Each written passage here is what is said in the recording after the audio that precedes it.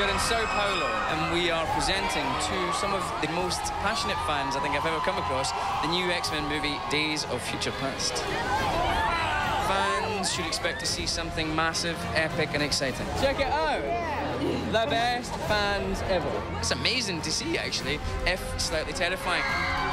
But that's Brazil. I think it's passionate. It's been an enormous adventure. I feel very proud to be part of it. Hey, Magneto! We got Magneto!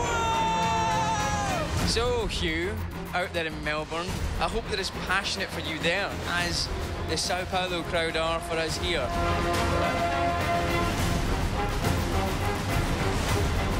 Looking good. So if you want to keep up to date with everything that's happening in the X-Men experience, follow us at hashtag X-Men Live.